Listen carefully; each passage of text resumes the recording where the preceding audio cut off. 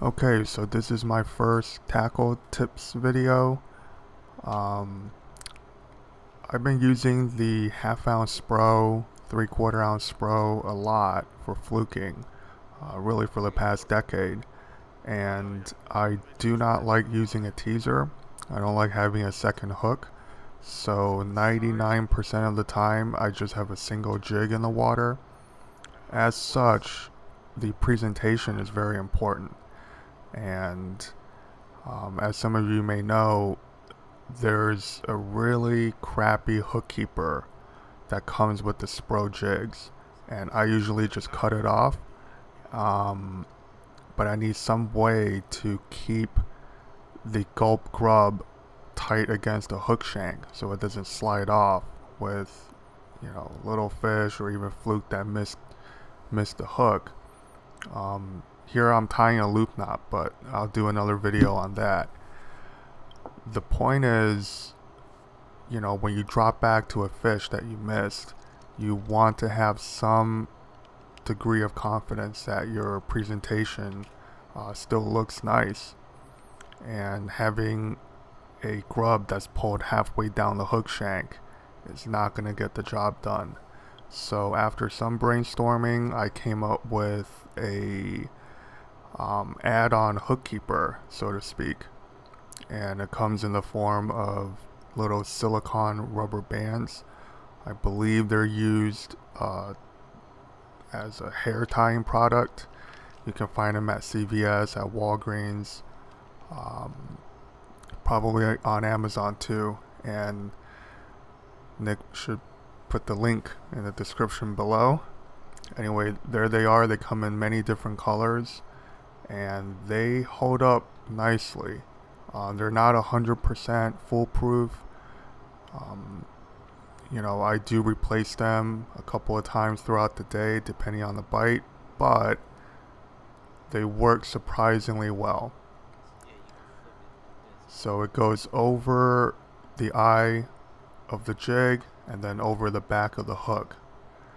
And as you can see, it exerts pressure um, towards the front of the jig holding your soft plastic in place. In this case that's a 5 inch gulp mullet which um, to me is the best all around size for summer flounder.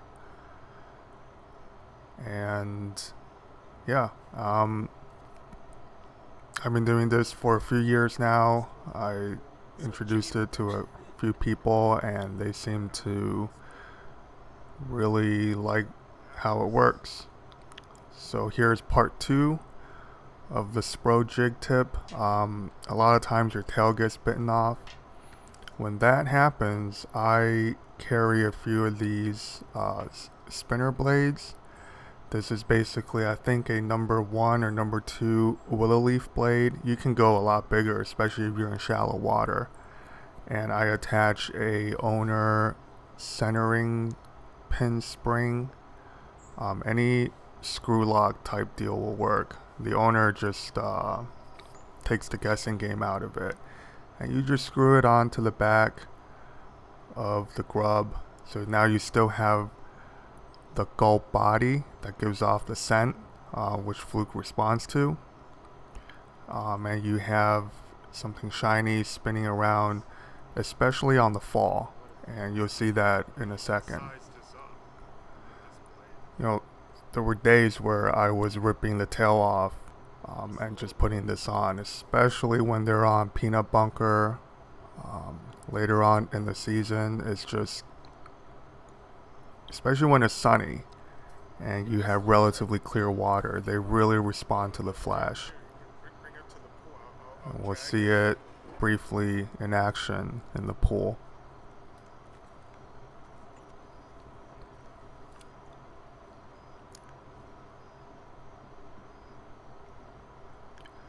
And if you'll notice, if you give it complete slack, the blade uh, swims and rotates nicely on the fall. Um, and if you go to my single jig fluking video, you can see the rod action.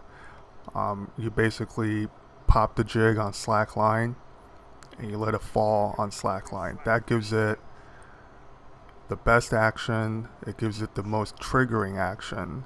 Um, you know, the lighter jig you use, the higher the arc you can put on it when you pop it through the water column, and the longer duration of the fall you can achieve. And the fall is where fish will hit your jig. Alright, so I hope that was helpful. And um, thanks again to Nick at Tackle Advisors. And if there's any questions, uh, please leave them in the comment section below.